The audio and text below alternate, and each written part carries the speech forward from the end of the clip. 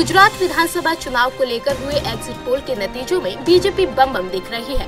BJP भले ही ये चुनाव जीत जाए, लेकिन 2014 के लोकसभा चुनाव के बाद पीएम मोदी के लिए शायद ये सबसे कठिन और निर्णायक चुनाव साबित होने जा रहा है।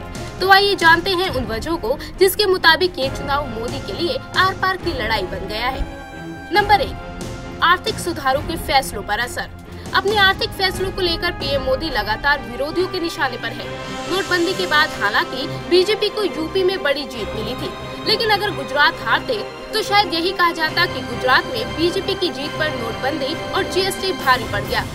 ज़ाहिर है, अगर बीजेपी हारती है तो इससे सरकार के आर्थिक सुधारों की किरकिरी होगी और सरकार को मजबूर में लोक लुभावन नीतियों को अपनाना होगा। नंबर दो, गुजरात मॉडल पर सवाल। गुजरात में बीजेपी के हारने से उसके गुजरात मॉडल की हवा निकल जाएगी।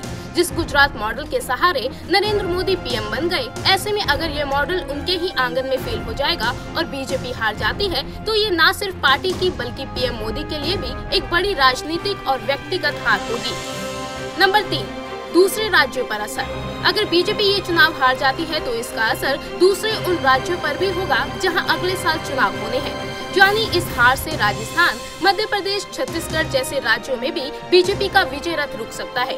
इतना ही नहीं, इस हार से विरोधियों को भी मोदी के खिलाफ मुकर होने का मौका मिल सकता है। नंबर चार 2019 चुनाव पर असर।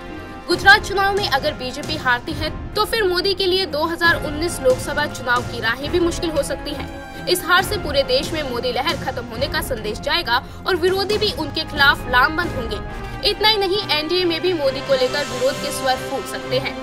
और नंबर पाँच, बीजेपी में विरोध।